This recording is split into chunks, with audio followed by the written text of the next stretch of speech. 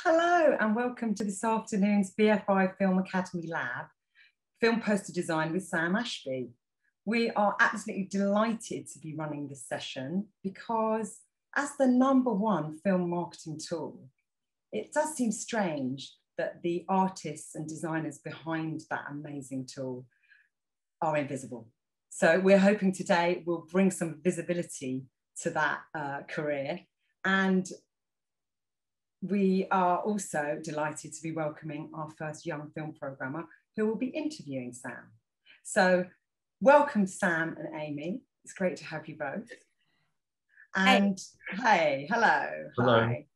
Um, before we get started, I'm introducing the session and I'll just say a few things about how the session's going to run. First of all, my name's Julia Andrews Clifford and I am the manager of the Young Film Programmers Network Southeast. I am a cis woman. Uh, my pronouns are she and her, and I am white, middle aged, and I've got long brown hair and I'm wearing purple glasses. Um, the BFI Film Academy labs are designed for 16 to 25 year olds to gain industry insight, get professional advice and support to develop their film programming and film making portfolios. And so today's session, focusing on film poster design, is going to run like this. So the first half hour will be Amy interviewing Sam. And the second half hour is over to you lot. So it's really important that you get your questions ready. You can actually put them in the Q&A at any point. Uh, in fact, the sooner the better, um, before you forget them. Uh, but at five o'clock, we will hand over to those questions and the floor will be yours. So get thinking about those questions straight away. Um, there are also closed captions for those. So if you need those, go to the bottom of your screen and you'll see the live transcript.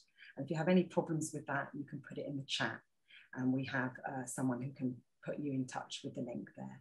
So without further ado, let me introduce Sam and Amy. So First of all, Amy, welcome.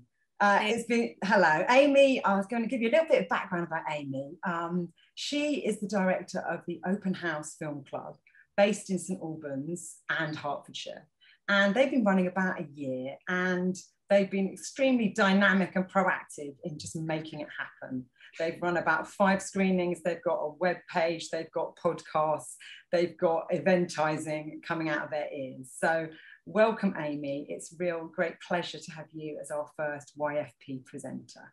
Oh, thank you, Julia. Um, as Julia said, I'm Amy. Um, I'm a cis woman uh, in her 20s with blonde hair and gold glasses.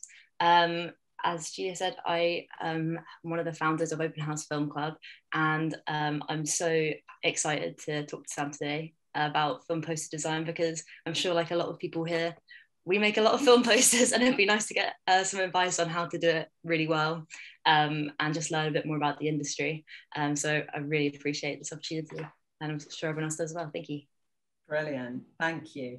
And so over to Sam. So just a little introduction about Sam. Um, when we were planning this session and researching Sam, it became quite clear that he might be the artist designer behind very many of the fantastic film posters, iconic film posters that you've seen for independent cinema over the last 15 years. Um, Sam's got a really interesting story that I'm not going to go into now, but he will be doing that with Amy later. But the kind of headlines are that Sam is uh, a graphic designer, a filmmaker, and at present is the creative director of Intermission Film, which is an advertising company that has a wing which is about film poster design. Um, during that time, uh, he has created amazing artwork for independent distribution companies, both in the UK and internationally. Some of those include things like Control, um, Let's Talk About Kevin, uh, we need to talk about Kevin, sorry, um, and the slide that we had up there, um, my brain's gone, a woman on fire. um, so uh, that gives you a flavour of some of Sam's work. He not only is an artist and designer, but he's also uh, expanded out into film publication, uh, uh, film magazine publication with Little Joe, which, as he says, is a magazine about queers and cinema mostly. so he might touch on that a little bit later, as well as uh, his first forays into short filmmaking, where Sam uh, made the colour of his hair in 2017, which got the London Short Film Festival Best Doc Prize, um, as well as being screened at the Rotterdam Festival in 2017. So quite a lot to talk about, but we will focus as much as we can at the start on film poster design. But as you're watching, if there are questions about those things as well from the floor, we'll be happy to take those. So without further ado, I'm going to hand over to Amy. Thanks. Thank you, Julia. Um, so, Sam, I guess uh, the best place to start is the beginning. Um, would you be able to tell us about um, your journey into dra- graphic design and, and how did that lead you to becoming um, a film poster designer? Yes, absolutely. Um, shall I do my? I, will quickly introduce myself. I'm a um, cis male, 40 years old, uh, dark hair, dark eyes. Um, I think that's it. But yeah, my journey into film and film posters is kind of I kind of I guess I, I think everyone that gets into this job maybe has their own individual story to tell, but mine I certainly didn't do it through any kind of traditional path. I studied art history, I didn't study design at all. And so it was kind of through a series of different uh, discoveries, job jobs that I was doing that I guess opened me up to the idea that film posters might be something that I could do.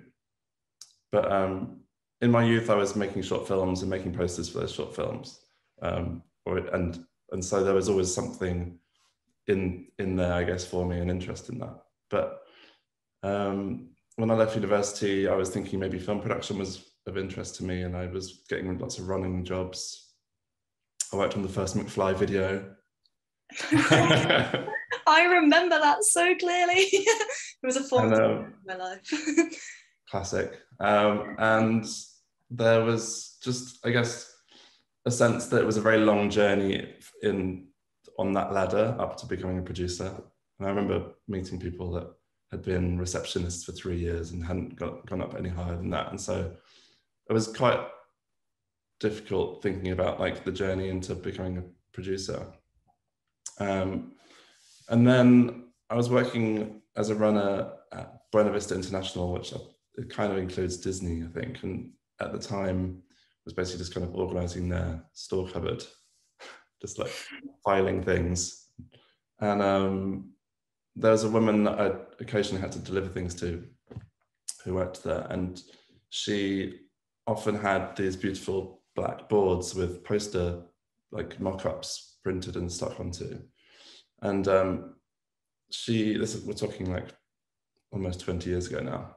And um, and she really kindly just kind of talked me through what they were in the process because she was essentially a marketing manager there. And the, the company called empire design was sending her lots of options for her to choose from. And um, and so i was became really obsessed with that process. And, and she very kindly put me in touch with them and i got a running job there um, and it was through working there that I spent a lot of time in the, in the design studio. And so I was completely, yeah, in awe of these designers doing this work and really wanted to get my hands dirty and do it myself. And so after I think about nine months there as a runner, um, they let me have a couple of weeks of work experience in the studio. Um, and so it was through doing that that I kind of really got a few little poster jobs under my belt. Nothing, I don't think anything that I did really even got sent to the client, but it was just enough for me to kind of to see that I could at least do something. Mm-hmm. Um, and I think at that point I'd been contacting various other small agencies, and there weren't many at the time, and particularly art house ones, which is really my area of interest. And um, I read about a company called All City, who was run by these guys called Pete and Dave, who um, and I think I read about them in a copy of Empire magazine, and so I just decided to email them, and they were really responsive and very kindly, yeah, gave me a little bit of work experience. And four years later, I was head designer at the company. So it was That's a really fast.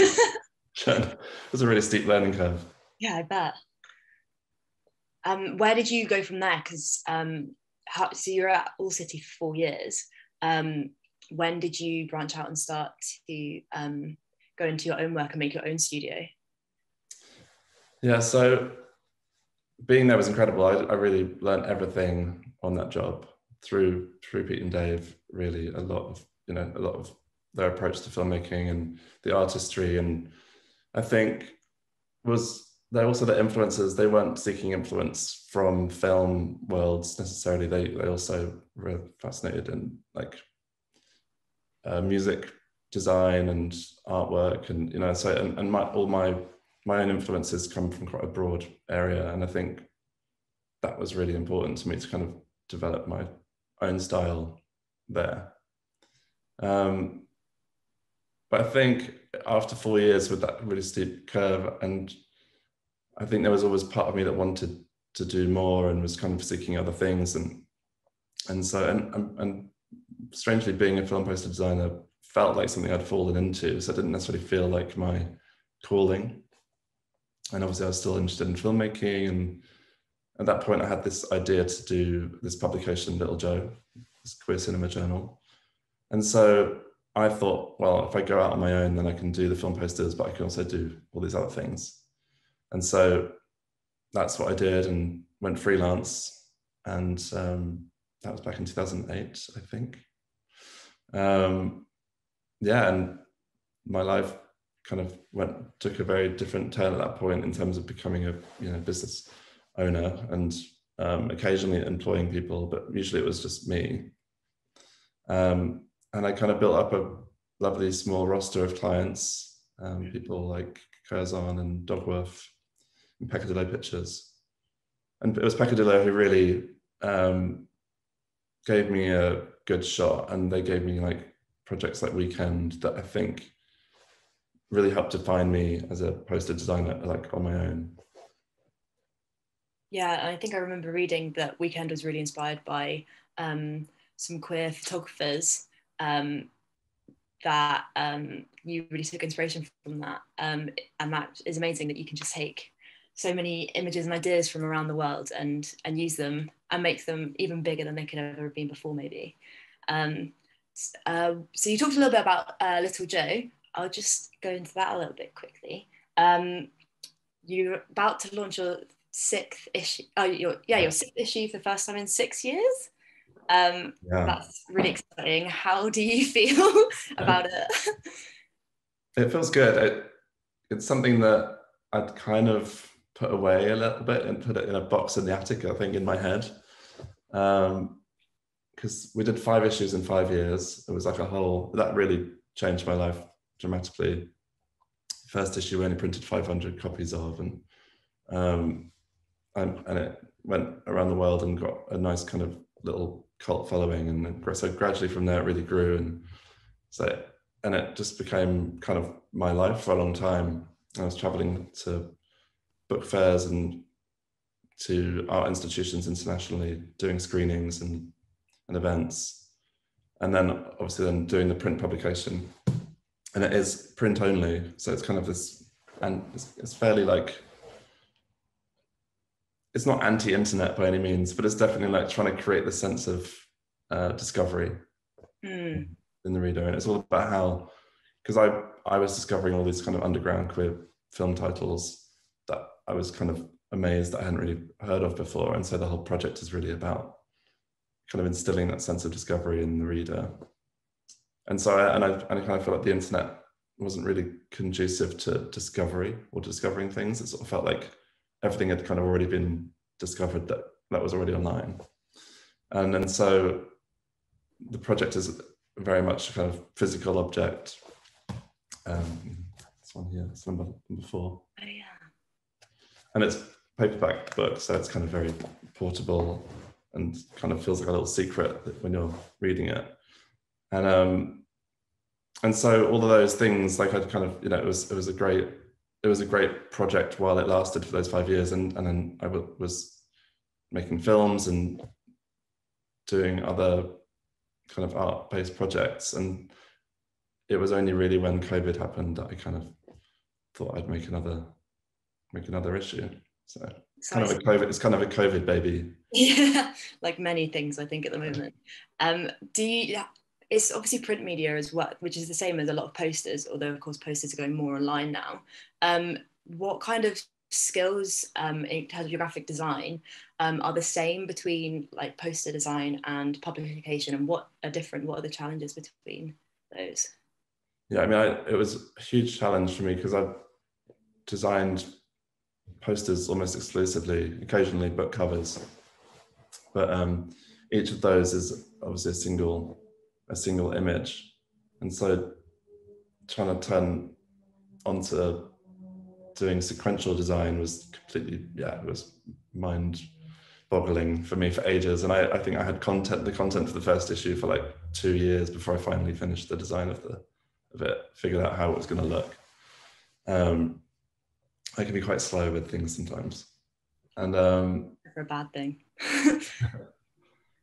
and so, yeah, I would say in terms of the connections, I would I would say, yeah, it's so nice to be able to kind of create a, a striking page in a in a magazine, and I think that is when you're it's most connected to the books, to them, sorry, to the film posters. But the other parts of it are vastly different. Like kind of kind of creating the journey through the text and connecting images to that text is is a whole other challenge really mm. Um, and on top of that as a side project um, you also have your main job as being the creative director. Um, one of the creative directors at uh, intermission uh, films. Could you just explain a little bit about like your typical day in terms of designing and talking to commissioners and things like that?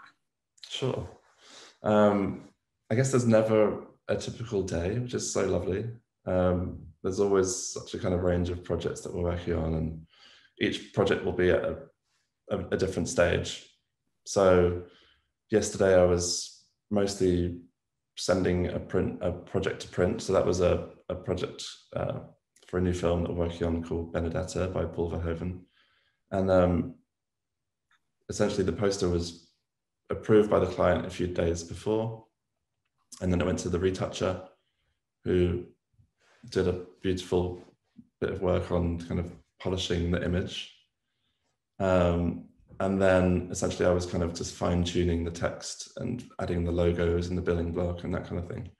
And so that's that's one part of the day. But um, in terms of commissioning and all the rest, so we have a very a very kind of I guess it, de- it depends on each company, but our, our, our, company structure is that we have producers who deal with the clients, and then I kind of come in at the briefing stage, along with maybe one or two of my other colleagues my, who are designers with me, and we'll listen to the. Well, we'll have seen the film.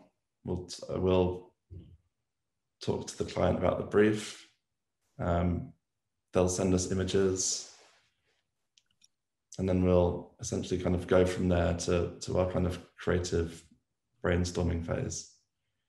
Um, that's a whole other whole other section. but that's really like that's really where the the fun happens for us. Like well a lot in terms of how I work, like watching the film is is the most important part of the job. And so that's that's the point at which the ideas kind of really spark. And so I'll always have a, a, pen and paper handy to, to sketch out ideas while watching the film. And then, but those are very, very rudimentary sketches of what will then kind of turn into those, into the designs. But, um, but working at Intermission is incredible for me because I've gone from being this sole trader when I was just doing my studio alone um, to working with a team of really talented designers. And so the whole process has completely kind of turned into something else, you know, collaboration.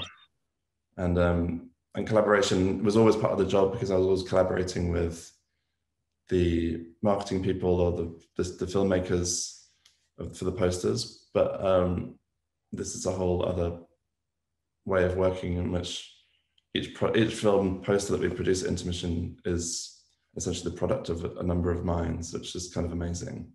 Um, and I think it allows the work to get really strong. So, for example, if I have an idea that I feel like I can't achieve on a Photoshop level, it means that one of my colleagues can, who's much better at doing that aspect, could completely build an idea that I've got in my head, and then they'll bring their own vision to it as well. And then maybe someone else will work on the type. And so, yeah, it's kind of it's a it's a really fun way of working for me. sounds it. it sounds really fun. I, I wondered whether there's ever like an internal battle um, between trying to tick boxes for distributors who want to reach target audiences and and yourself and your team as artists and storytellers. Um, how do you yeah. like combine your art with selling a product? That's i mean it's it's the job. And and it's always that battle going on. And sometimes that battle is a little bit more soul destroying than other times. But but ultimately we are we are in service for the client and the you know the client absolutely comes first. And so we if we really believe in something then we will try and fight our corner and we'll try and you know push for that. But but sometimes that doesn't happen and sometimes um, things do get watered down in ways that we would maybe not like. But i think ultimately our job is to kind of always steer things in the best possible way even when we feel like they're not um, going the way that we would like mm. so but it's definitely a challenge I bet. yeah, I really bet. Um, I'd love for, to like get up some images of your posters so that everyone can see um, some of the stuff that you've worked on. Um, and I particularly like to look at um, maybe one of the ones that everyone's seen because of the posters that we've been advertising this with um, is Portrait of a Lady on Fire, which is absolutely one of my favorite films of last year. Um, Such a good film. It is, and it's a lot of your um, uh, posters uh, for films uh, like focus on telling queer stories. How how long did it take you to be able to uh, focus on creating images around these stories? And did you make that your intention, or did you just kind of naturally find yourself doing that? Well, my kind of queer focus as a queer person, it was kind of essentially was a lot of it was because of the company uh, that I was working for, Peccadillo Pictures, who were one of my main clients when I went solo who they are an LGBT distributor. And I think most of their film releases are LGBT themes. Uh, and so that was, uh, Weekend was through them um, and a number of other queer, queer titles that I had the pleasure of working on. Um, and so I think Weekend kind of became my queer calling card, I guess. Um, and it was through that that people like Curzon, who I did portrait for. Mm. Um, I guess if they, they, if they felt they needed a sensitivity towards a subject that was queer, then they they thought that I was maybe the, the right person for that job, which is quite nice. Um, and so with portrait, I mean, the whole process of that was a tricky one, largely because we didn't get receive any on-set photography. I really. So all we had to, to work from were stills from the film, which are never it's it's never ideal because it's the the rate um, the pixel size is means it's in a, a tiny image compared to a, a, proper photograph, and so this is kind of blown up way beyond the size that it should, but it was kind of all we had to work with really. Um, and we did, we did an alternate illustrated version with a, an artist called Tony Stella mm. as well. Um, but this one I love because it was so close to an original sketch that I'd done, um, in which I wanted to kind of create a portrait device on a landscape poster, um, which is maybe like a bit of a geeky thing. But the, this landscape poster format is what we call the quad poster, and it's bizarrely a, a, a British quirk that nowhere else in the world does. Really? Um, which is good for me because it means that film companies always want to do a quad poster, and and the challenges of designing to a quad are very uniquely different to designing it to a portrait one sheet poster. Um, but with the idea of the portrait title the portrait in the title, I, I created this kind of um, framing device with the type, which um, which I think kind of draws you into that intimate moment really nicely. Mm, it's stunning. Um, uh, what advice would you give to um, aspiring graphic designers and, and film poster uh, designers um, in terms of like getting their foot in the door or making images as stunning as this? Um, just just make posters. I mean, our one of our team at the moment, Jay, he, he was making um, fan posters for ages. He's also like me; he's not trained, and so um, I, I, mean, I should say he's not trained as a designer. Um, he's trained on the job, but I mean, he he, you know, had just had that passion for doing film posters, and so um, that doing that work and kind of keeping on going and keeping on keeping on trying and then posting that work online is was one way of doing it. Um, and i think that there's a it's a, it's really amazing for me to see that there's kind of a community of people online that i see on instagram and twitter people that are, are kind of sharing their fan posters. Um, so i think you know there are ways to get your ways to get your work seen very easily now. Um, and i think that's you know people like me definitely might take notice of that. Um, so i'd say yeah if you're if you're interested in designing film posters then then then do it there's, there's, there's you know the, the, forum is already out there i would say um, and it's only through through trying that you'll you'll kind of i guess get better at it um, we really almost run out of time for this part of the um, session, but I'd just like to ask one final question. Um, which of your posters um, makes you the most excited? Most excited? Oh, wow. Um, I love um, the one I did for, uh, God, The Man Who Fell to Earth. I think we have that here. Yeah. Yeah. Um, for me, it's a dream to be able to work on old films that get re-released sometimes because I'm a bit of a nerd and love like weird old films like this. And um, it obviously Bowie is completely iconic. So to be able to work with Bowie on a poster was like a complete dream.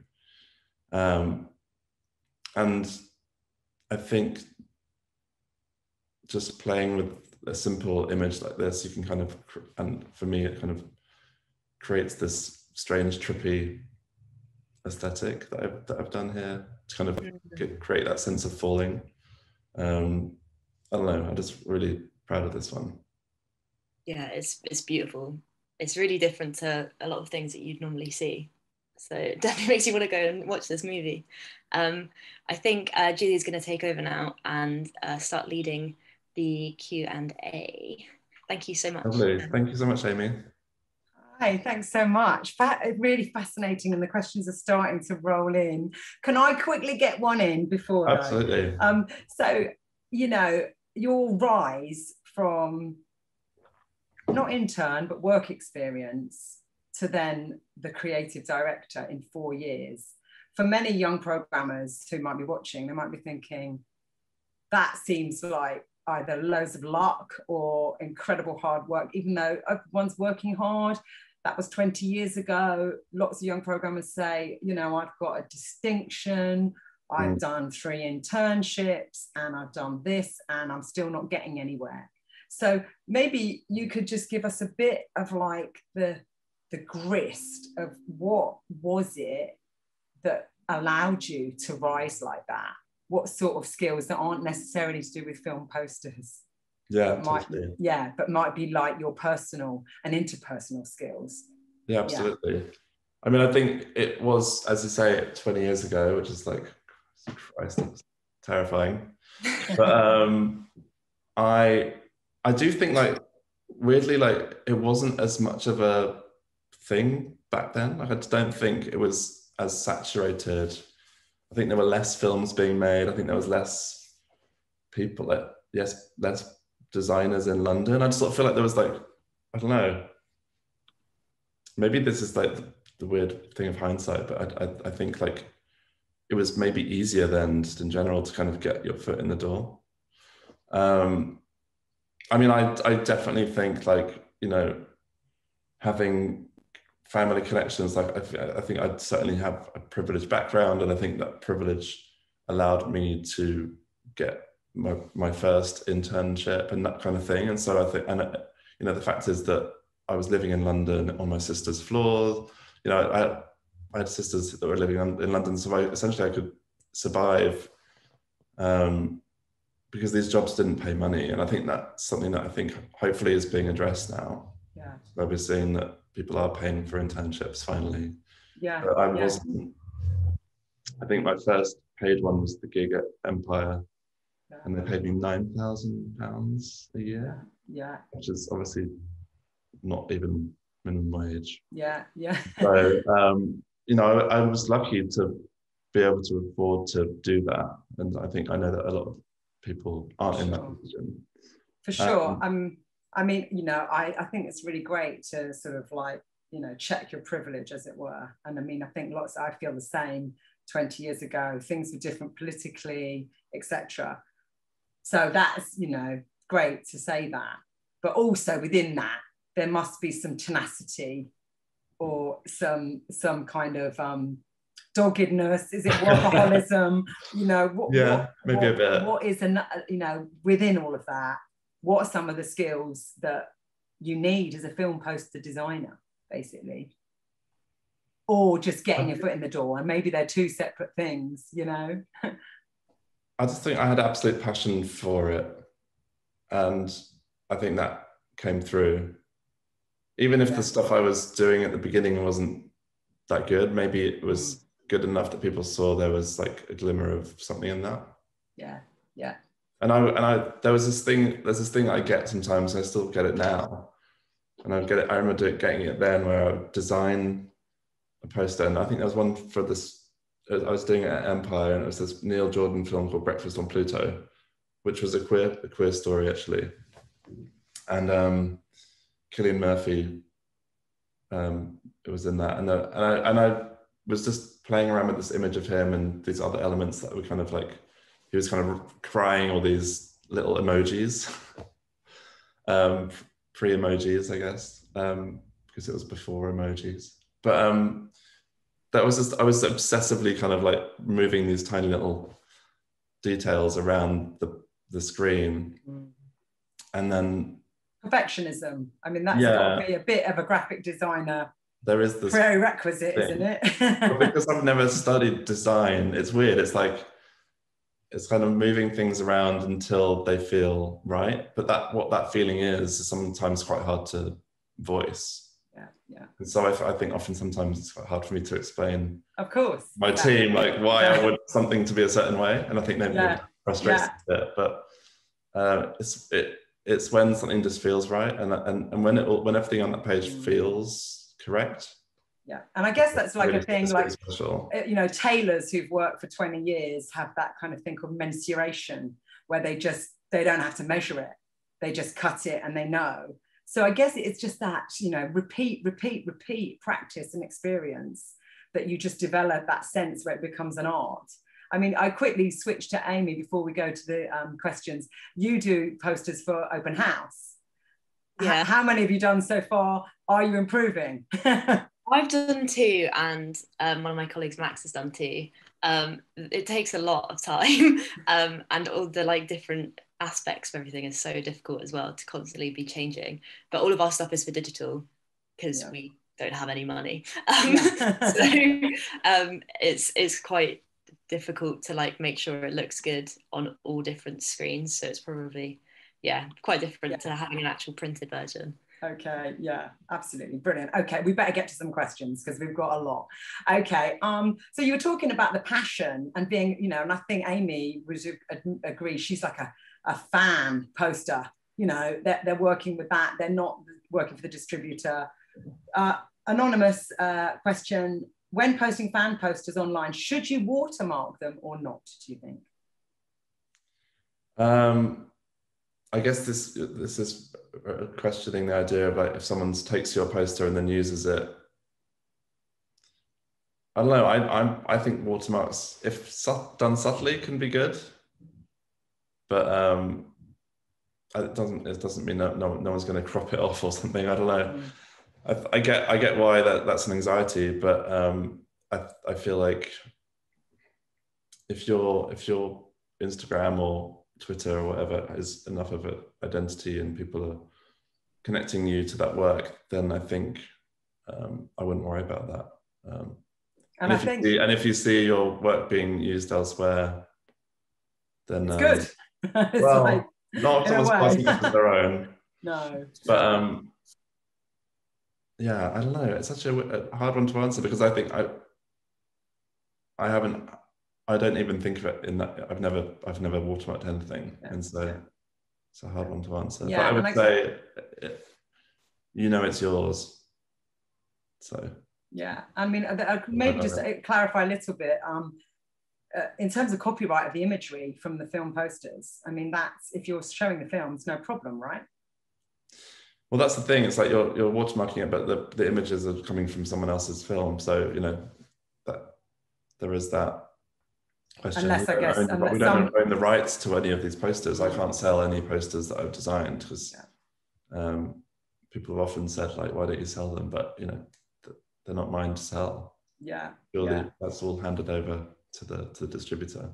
yeah, But um, the one time that we did was with Weekend, and we worked with the photographers um, together, and we kind of did a profit split with that.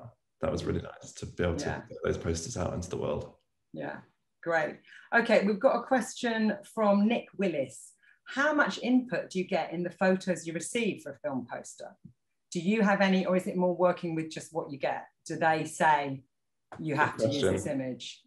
Yeah, I mean it's it's it's different for every film. So as I mentioned before with Portrait, we didn't receive any actual like on-set photographs. We, so traditionally on a film set, there'll be a photographer who's taking photographs that match the scenes, and so what you'll get then is like very high quality version of of that scene, um, and there'll be various angles and various different shots of the cast, and often quite often we'll get plates of the set of the sets as well.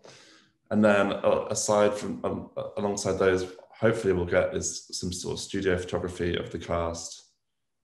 Um, but quite often, and more often than not now, we get none of that, and we'll just get the film, and they'll be like, "Oh, we can take some screenshots." And so we're really keen at Intermission to kind of educate filmmakers that taking good photographs is really important to promoting their films and um and so yeah we we we love it when we get a bunch of good images.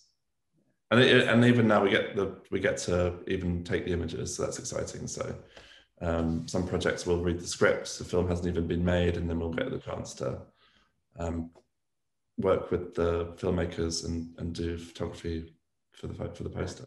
Yeah, great. I mean, lots of young programmers um, will create a sort of illustration for the film, yeah which is really great. There's so many artists and illustrators in the network, uh, which is always great, you know, um, because then it is their original artworks, and maybe that is the watermark thing. Um, yeah, I mean, I, I, I wish I was a better illustrator. I'm, I'm really not, and I um, and so my work, my work, as you may have seen through the images that we shared earlier, but like it's very like minimal and photographic yes, and typographic. That's that's kind of the style. my Yes. my style, I guess. If, Yes. if, if I would say I have one, yeah. Yeah. I mean, uh, you have said that the art of the film poster is to distill the film into a single image. And that definitely seems to be, you know, if you're an, an author of film posters, you can see that convention through a lot of your work. Um, so, in that sense, you choosing that image, it's great that the distributors are kind of so busy that they don't give you the, the, the still. They're not that, you know, rigid on what you have to use. Yeah, yeah, we get that choice absolutely. And sorry, I, I didn't really answer the question before, but yeah, we we I we as designers we get to choose. I get to choose, and um, it's that it's that that really kind of makes makes the poster, I guess. Yeah. And I It's guess, often, often it's a weird kind of amalgam of images and cutouts and. Head transplants. Mm, mm. Well. And, and so also the question, you know, I think that Amy was talking about about the marketing and the artistry. Um, how many times do you watch the film? And is it like you're almost like a film journalist where you take one reading and you go with that? Or do you have that sort of forced sense that I'm going to make it about this? Just take us a little bit about that process because I think that's probably that distillation process that yeah. maybe you, you, know you could overthink that.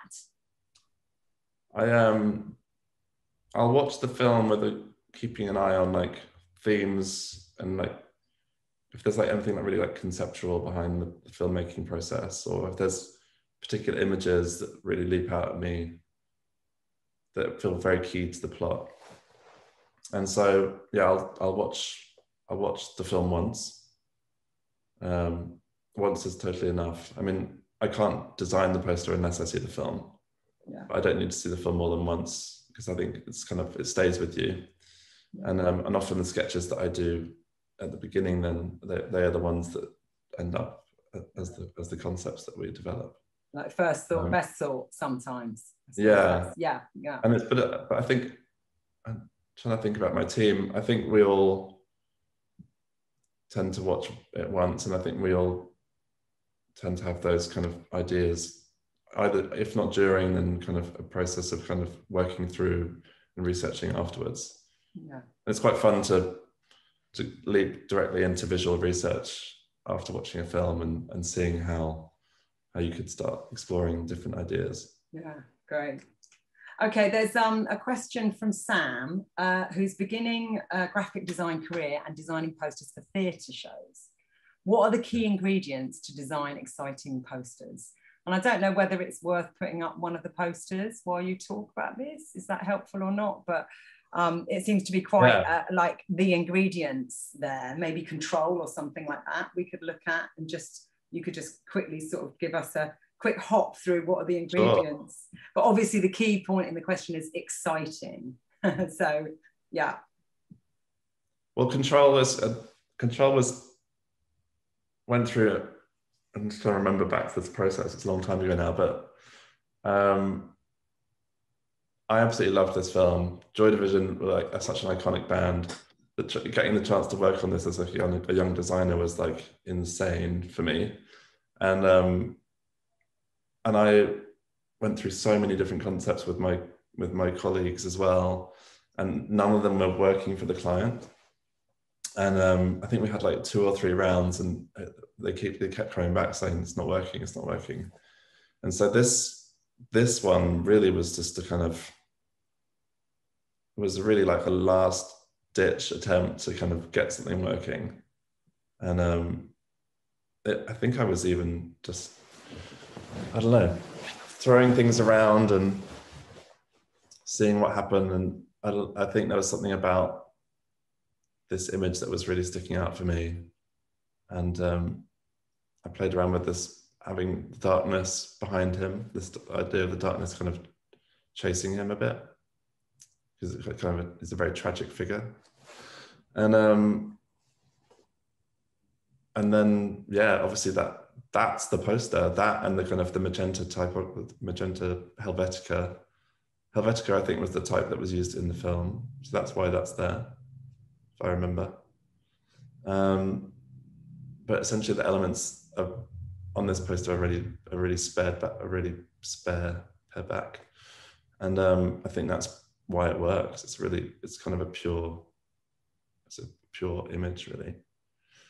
Um, in terms of the elements that have to be there, obviously the title and the cast and the quote really helps to sell it. Um, I'm, a, I'm not really a fan of putting quotes on posters, but sometimes when it's just one, it's fine. Um, yeah. How, do, how about you, Julia, when you're looking at this? Like, yeah, well, I think, uh, yeah, for me, what makes that exciting is the color um, and it's the simplicity of the image. But actually listening to you, the depth behind it is that the, the movie is about the darkness that was chasing him. So actually, I think you're going to university and doing art history comes out quite a lot because there's a surface level of yeah those are the ingredients and it looks good but Mm. actually you can read that image and it's got real depth and i think that's where it uh, uh, it sort of will hit you beyond just a kind of surface level that's so that's how i see it so that even though i didn't mm, I, I didn't not consciously think that ever before i've seen that but now you've said it i'm like oh that's that's why it's so strong i would say Whenever I see this poster now, I'm like, I wish I'd made his cigarette shorter. this is the perfectionist. Okay. So, I mean, Yeah. on that, you know, um, there is a question actually to all of us, Sam and Amy and myself. What are some of your favourite film posters from Owen, um, and why do you think they're so effective? So obviously, we don't want to take too much. We've got quite a lot of questions. I would say Alien is my all-time favourite film poster, um, mainly because it's utterly terrifying. But again, it's like distilled into a simple image. The tagline, which again, I don't know if you generate those or not, Sam, but that Yeah, uh, in yeah, I- space, no one hears you scream. I just think that the simplicity, and then I also was looking at it for this session. It's the de- the deeper bit is it looks like um, an audience watching a cinema screen. So it's got this like double thing going on, and I don't know if that's deliberate or whether I'm overreading it, but um, that's my one. So yeah, Amy. Um, I love the post. I haven't actually seen this film, but I love the poster for The Love Witch. I just love the colours. I love the style of it. Um, even though it's modern, it looks old, and I just think it's pretty. so maybe that's for you. It's just it's pretty, you know, and it's got it's got a color and it, and it's attractive. You know, it grabs you. Yeah. Sam, I mean, I think you've talked quite a lot, but if there's one that you want to mention again, a different one, Not of my own, no, definitely not. someone Uh, else's. Yeah, someone else's. I um, oh my god, this is so hard. I mean, it's we like come, we come back to it. It's like hit you with it. there's um, it's really impossible to be like one film poster, Yeah, but I think.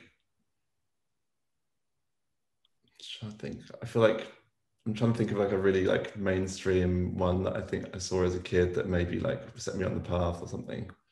But um, but I also just love really weird, odd ones. You know, like ones that maybe people don't necessarily see as as classics now. Like B movie ones or things like that. yeah, Yeah. I mean, obviously, that like what the attack of the 50 foot woman or whatever, you know, all that stuff. Brilliant, brilliant. Okay, we mustn't dwell too much because uh, we've got more to do. Um, from Sam Cornwall, uh, what are some aspects you have to consider when designing for digital specifically? Yeah. So this is a very unique challenge now that we're facing with everything kind of going to streaming, and uh, streaming being such a kind of important space for for people watching films now.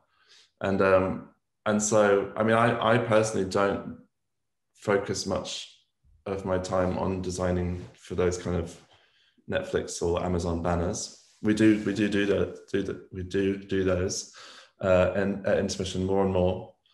Um, and I think it's interesting because so often, and particularly during COVID, um, with cinemas not being open, we were designing posters that we kind of just knew would never get printed. They would just kind of end up as digital files online. And so I think, you know, for me as a bit of a purist, I, I will always design the poster first. And I think from that, then we will adapt it to VOD. Um, but the, can, the, I guess the particular specifics of that format, online, digital, I'm still grappling with, I would say. I think maybe, yeah, I think part of me has resisted it for a long time. And now I'm like, well, we actually need to like, yeah, we I think it's really an important space for people. But I think um, it's fascinating to see how Netflix and others will create so many of those different. For one film, they'll create many different Mm. um, Mm. images, and those will target different people in different demographics. Yeah. And so, yeah, it's kind of it's a it's a unique challenge that I think I'm only really just beginning to get my head around. Yeah. Yeah. I mean, that sort of follows on from Eric Garson's question about how does your work cross over into other areas of the promotion, like character stills, DVD, Blu-ray covers. I think yeah. you mentioned thumbnails, and to ensure a common look or theme. I mean, I think even though they're all different, they're still often the same image. Do you think they're just different? Yeah, exactly. And so often we'll, you'll see with Netflix and Amazon, they'll strip away all the detail apart from the title treatment and an image. Um, but often that title treatment is is is really what kind of helps is the branding aspect of it, you know. Mm. Um, and and that's how really advertising works. It's about you know making people connect between these different facets and different areas, and kind of recognizing that that is from the same film. And title treatments really help with that. Yeah, yeah. Um, so it's the campaign that string, you know, they had to connect, and it's the multiplicity of seeing it multiple times that you know kind of gets into you. he also asks, um, how does your work adapt for social media posts? Um, something me and Amy were talking about, which was like Instagram is square, right? what happened to the quad poster, you know, and is that going to die or what? And how do we work with that. And then also, of course, billboards, which would be back to that kind of quad rectangle.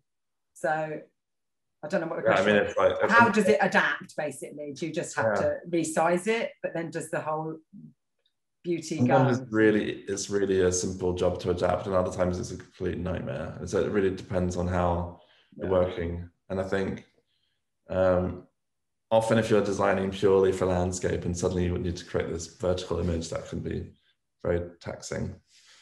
Um, so often, sometimes, if we know that we're going to be, if we know that we're going to be designing for all these different formats on a on a big film, it's going to go across billboards and bus sides and all the rest of it. Then we will um, sometimes we'll design in a square, but we'll have different different guides for those mm. various different um, different formats. Well, we usually always have the, the portrait and landscape, and then from there you can kind of adapt more easily. Yeah. Um, but my background in you know in small art house queer films is you know the, the fact is that many of those didn't end up on bus sides.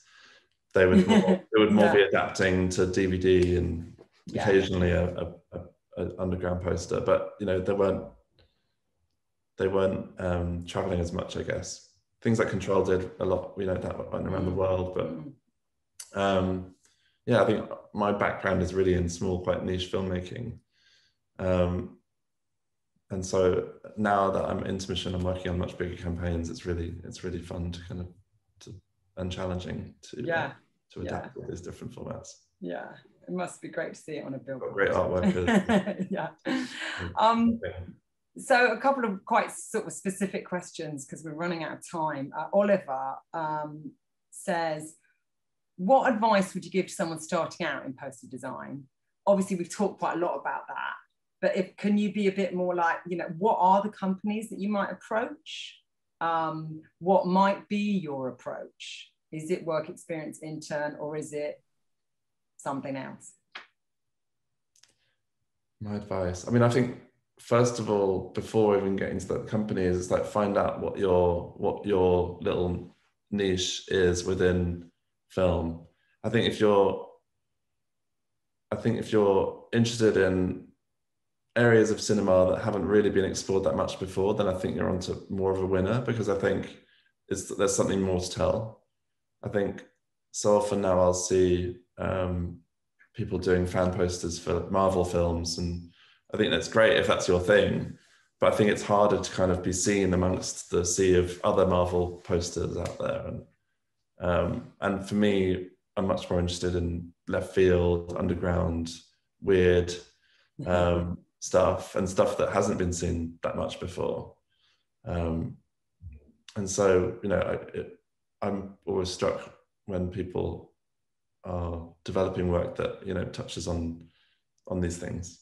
Um, and then in terms of finding companies, there are online resources. Um, you can go to this uh, website called the Internet Movie Poster Awards. I think that's. We'll put that in the chat. Yeah, it says IMP Awards. And um, this has kind of become like the IMDb of film posters. It's, uh, it's an amazing resource, and a lot of the work that we do at Intermission, all the work, all the film posters that we do, end up on there.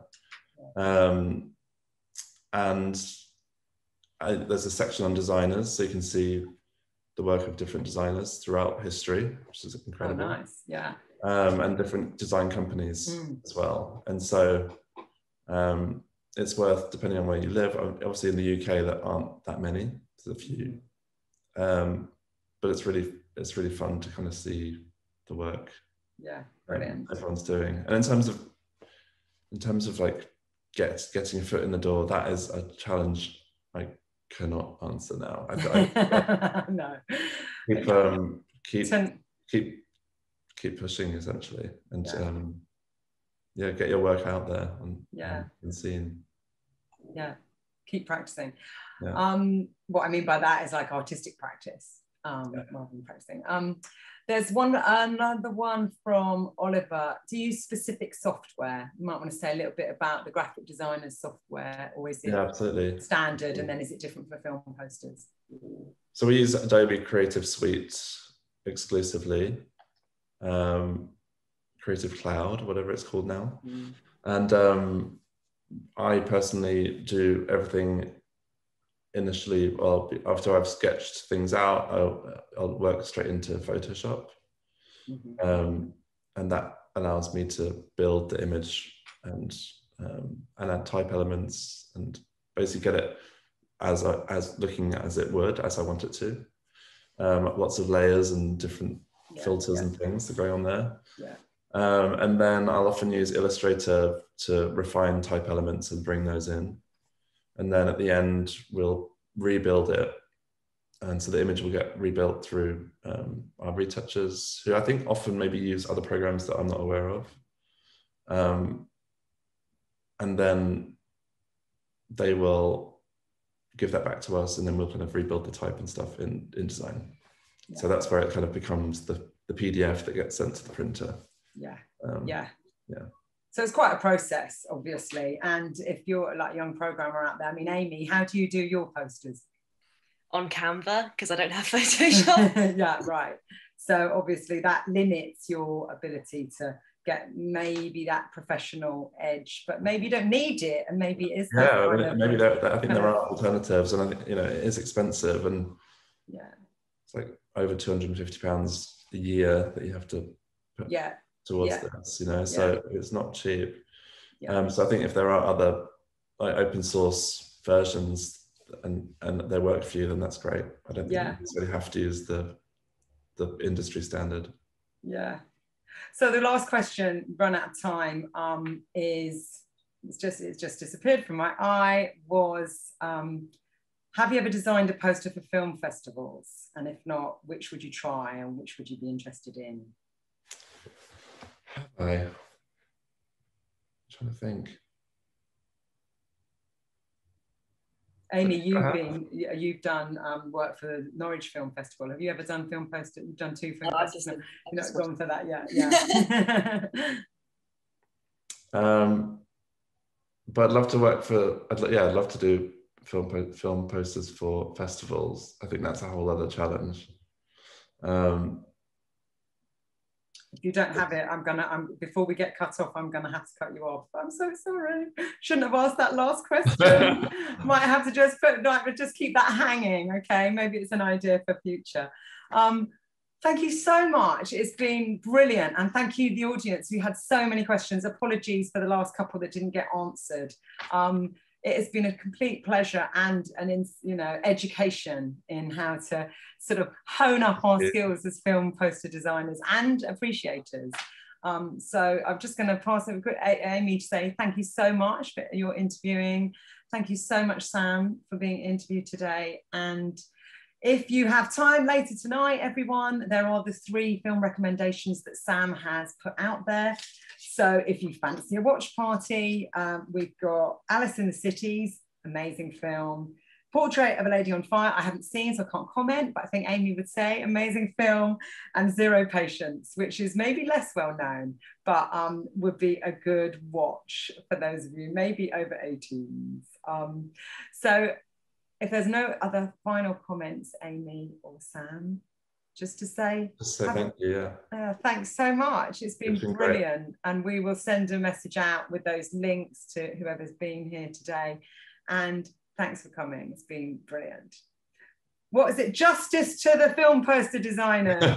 Let them be seen. Where their credits on the bottom instead of the distributors. no, it's, it's good. I think it's good. Good that we're also anonymous. I think it's kind of a. Oh, yeah. yeah, well, maybe that's you know, if you're a film poster designer or graphic designer, maybe that's where you're happier to be. So yeah, another maybe quality. Brilliant. No, okay. And thank you so much for having me, and thanks Amy for and for Amy and Julia for, for interviewing me. It's been a pleasure. Brilliant. Thank you so much. Okay. Take care. Have a good evening. Bye. Bye.